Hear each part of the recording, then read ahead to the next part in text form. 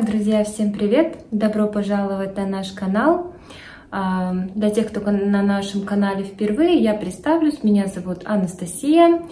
И в 2023 году, в апреле месяце, мы переехали с семьей, которая состоит из четырех человек. То есть я, муж и двое наших детей а, в Германию на ПМЖ. Переехали мы из Казахстана. И сегодня я хотела бы затронуть тему о немецком образовании. А, я поделюсь лично моим мнением, моими взглядами. А, возможно, оно будет совпадать с вашим мнением, возможно, оно будет совпадать частично, а быть может, что оно вовсе да, э, будет другого мнения. Но вы же понимаете, все мы люди разные, у каждого свои взгляды, мнения, поэтому я просто хочу поделиться а, своим мнением о немецком образовании, тем, тем более, что а, мне есть чем сравнить, так как наш старший, наш старший сын а, успел а, посетить э, в Казахстане несколько классов начальной школы. Итак, старший сын у нас сейчас, а, ему 10 лет, и он ходит в третий класс немецкий, да, мы потеряли немного времени, а, потому что когда мы приехали, он не успел закончить третий класс в Казахстане, а, и его а, посадили во второй класс. Но, получается, мы в Хайм заехали в мае, он немножко проучился, были Финстон каникулы, и потом на летние каникулы ушли дети, то есть он там буквально пару месяцев поучился, Естественно, да, никакого там знания языка он за эти два месяца не приобрел. И у нас э, было совещание с учителем.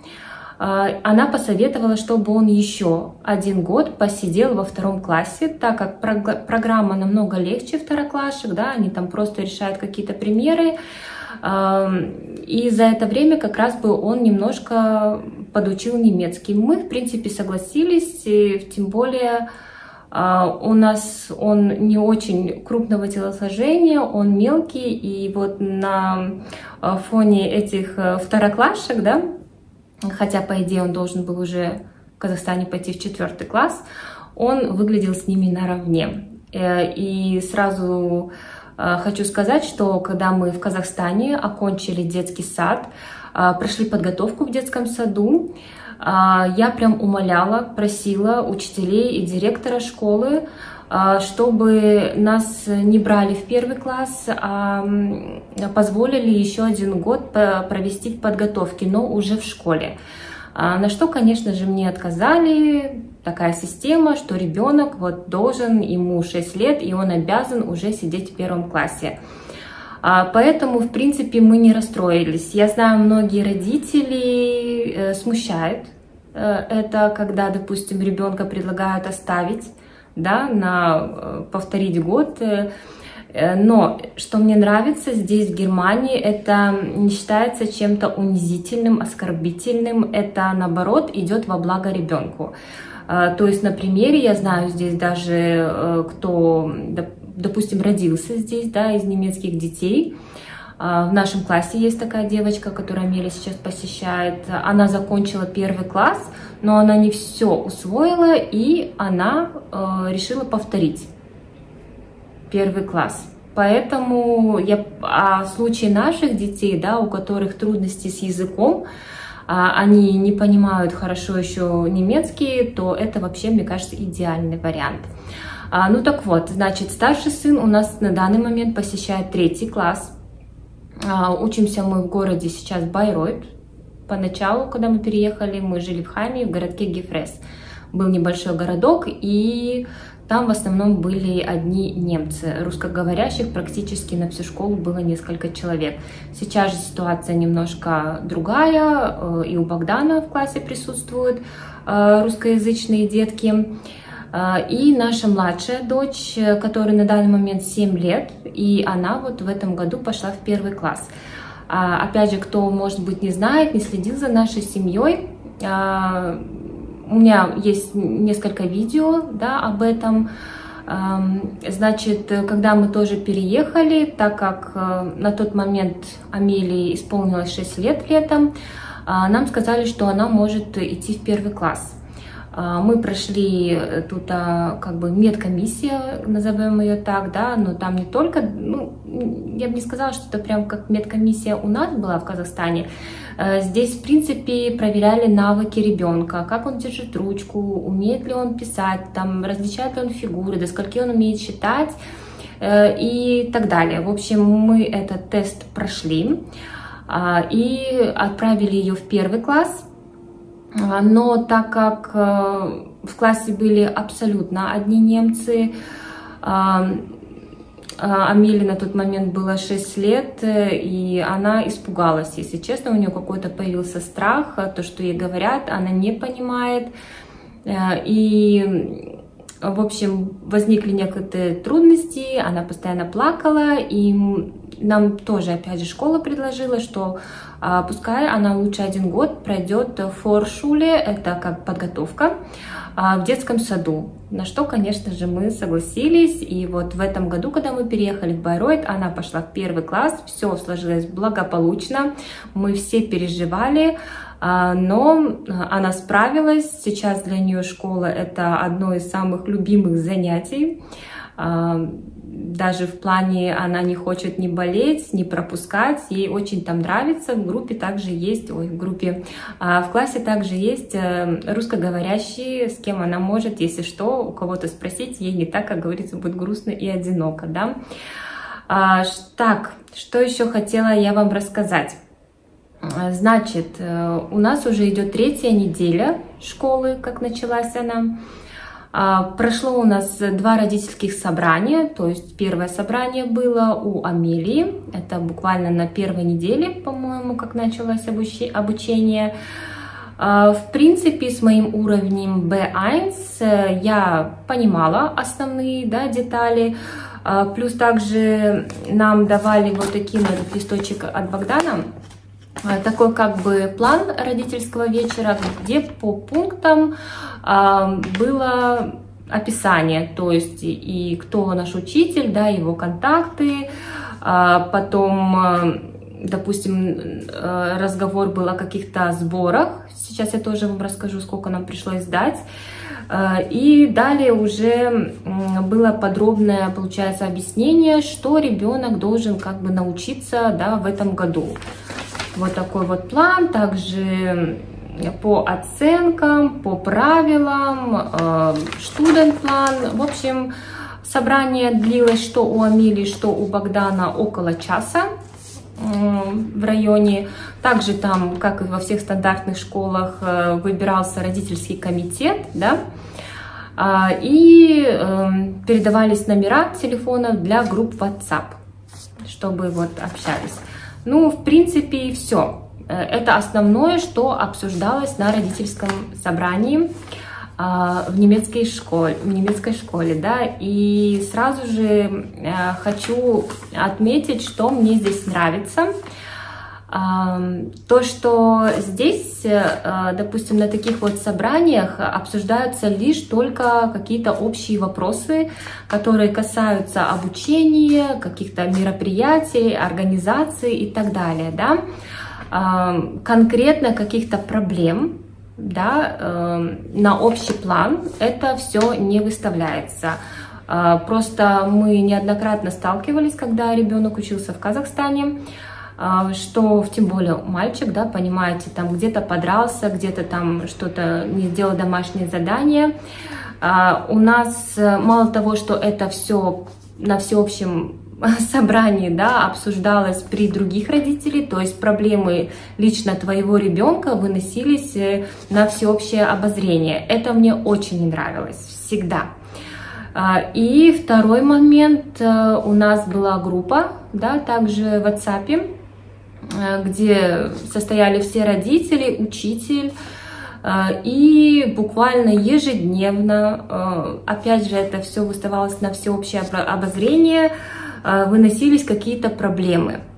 касательно твоего ребенка, чужого ребенка, неважно. Я считаю это неправильным. Даже, допустим, вплоть до имен, кто не сделал сегодня домашнее задание. Я считаю этот подход не очень хорошим. А, и что мне нравится здесь, в Германии, то, что если есть какая-то проблема с твоим ребенком, это на общее, образов... А, общее обозрение не будет выставлен... выставлено. Тебя пригласят, да, как родителя. Если какой-то конфликт произошел, допустим, с другой стороной, пригласят только, допустим, родителей того ребенка, и это будет все вот так вот конфиденциально обсуждаться. Слава богу, у нас пока таких моментов не было. А, и также, если, допустим, учителя что-то не устраивает да, э, в вашем ребенке, либо он видит какие-то проблемы, какие-то сложности в обучении, опять же, это не, не по каким правилам у них, я не знаю, это настолько все у них вот конфиденциально, что это, это только вот ваша личная информация.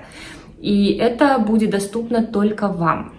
То есть э, с вами учитель свяжется, либо назначит термин да, на собеседование, чтобы обсудить данную проблему, а, либо, может быть, как-то в письме. Он об этом, как говорится, выразится, да, и это, я считаю, одним из самых, наверное, таких вот э, приятных моментов. То, что проблемы твоего ребенка — это только твои проблемы, и это не выносится на всеобщее обозрение.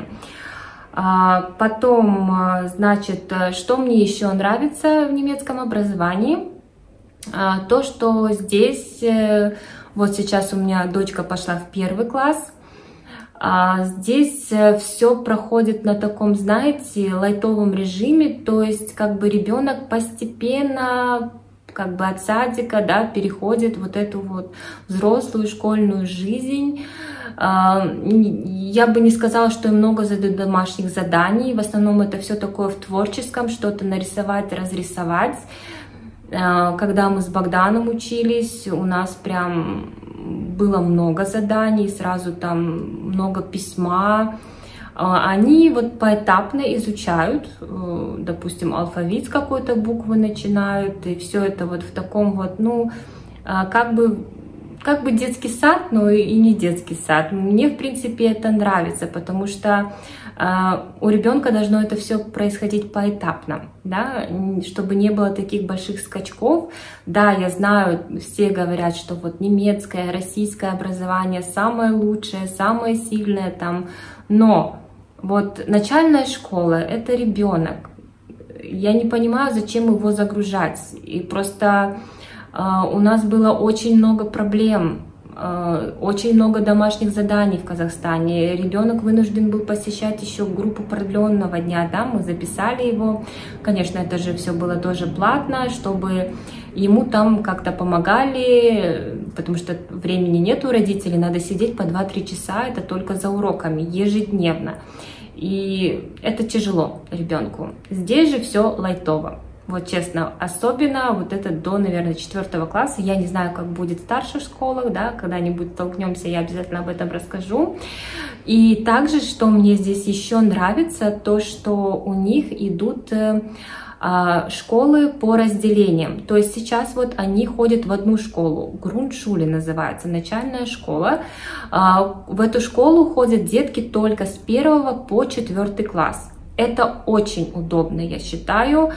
А, во-первых, потому что у них нету столкновения с старшеклассниками, да, и, и отсюда следует, что меньше возникает вот таких проблем. А, насколько я знаю, это популярно было еще в мое время, да, когда я училась, потому что у нас одну школу посещали с первого по одиннадцатый класс.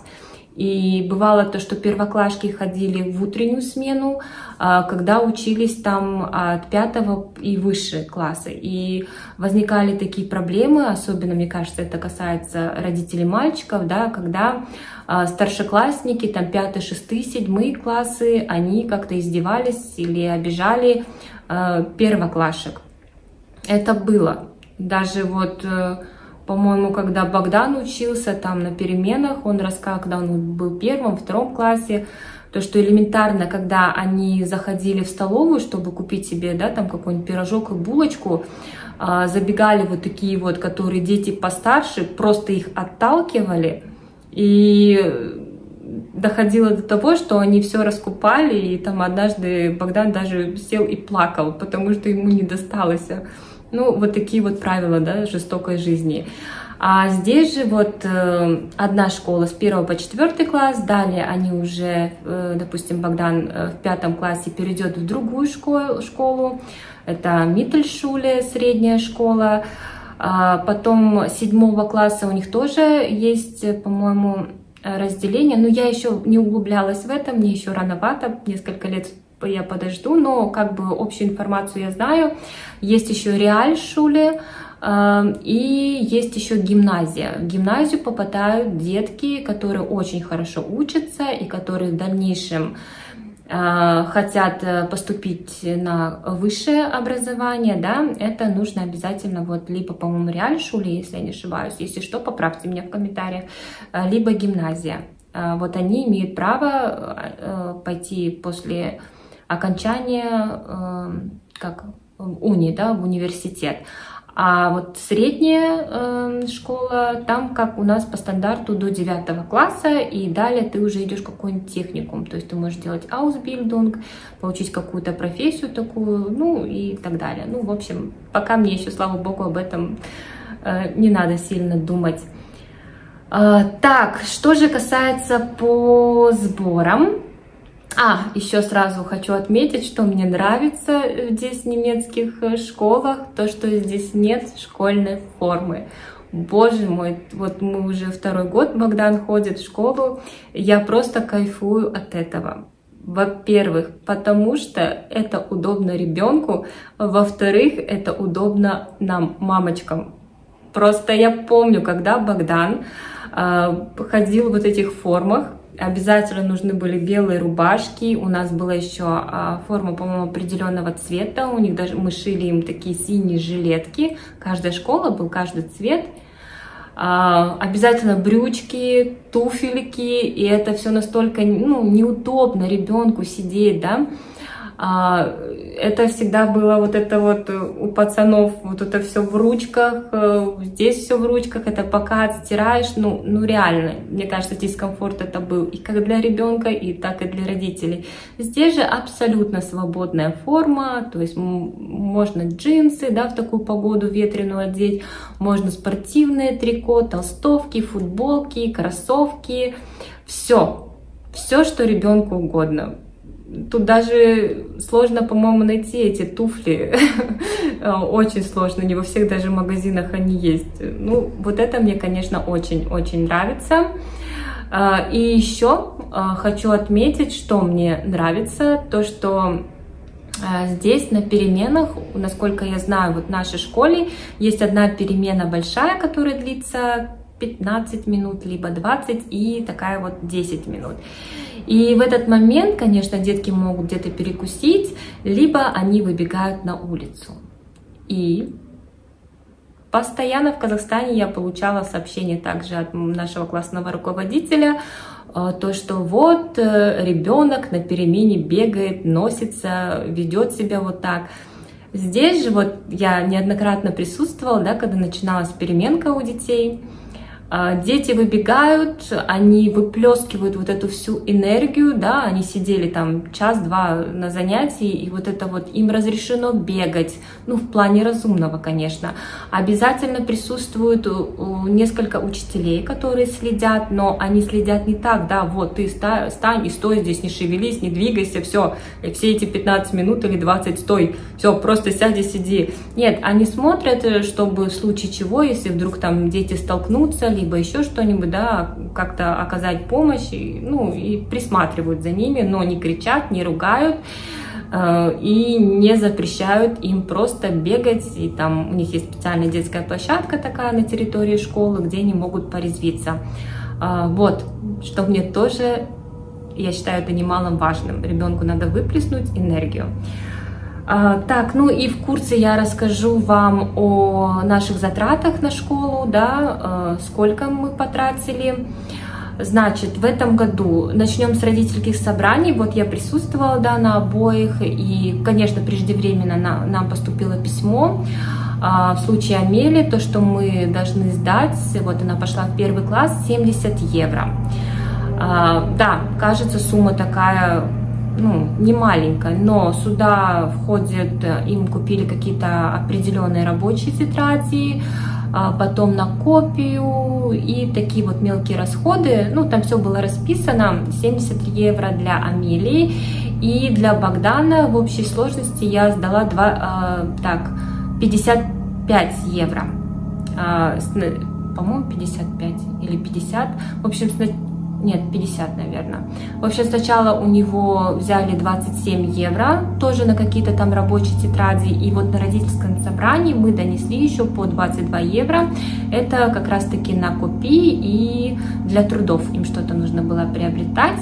То есть вот на двоих детей, грубо говоря, у меня ушло 120-125 евро. Это чисто то, что я э, отдала в школу. Э, но и, конечно же, помимо этого Э, мы закупали эм, все к школе, это принадлежности да, к школе. Опять же, были выданы списки, по которым нужно было закупить все необходимые вещи. Но в этом году нам э, пришлось полегче, так как у нас очень многое осталось э, нетронутым.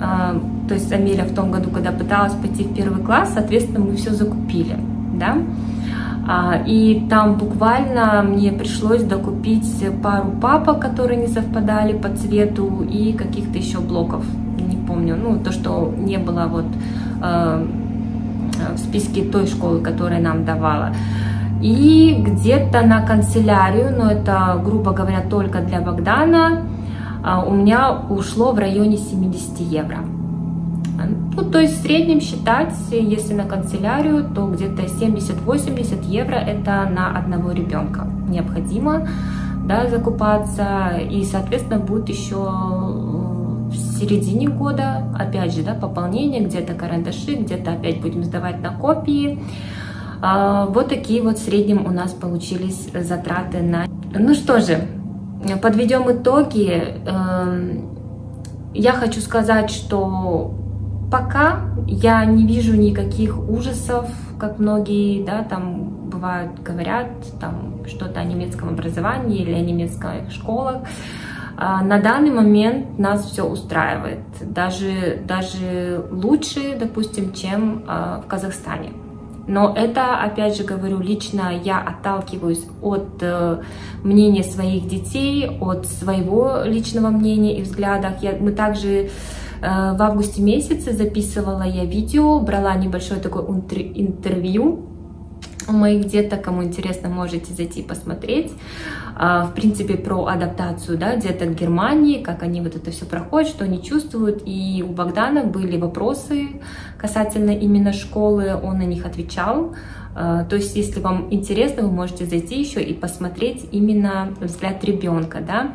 Но э, взгляд мамы у меня пока только положительный. Мне очень нравится э, и образование, и учителя, отношение учителей к детям, отношение учителей к родителям, и, в принципе, вот эта вот вся атмосфера. Поэтому, что, мое заключение, я довольна. Э, хотелось бы, конечно, услышать ваше мнение. Мне тоже интересно узнать, э, как, допустим, у вас обстоят дела со школой. Может быть, что-то я упускаю. Пожалуйста, буду рада прочитать, постараюсь каждому ответить в комментариях. Поэтому спасибо всем тем, кто просмотрел наше видео до конца. Кто не подписался, можете подписаться. Вам пожелаю всего хорошего, легкой учебы для ваших детей. Всем пока. Чус.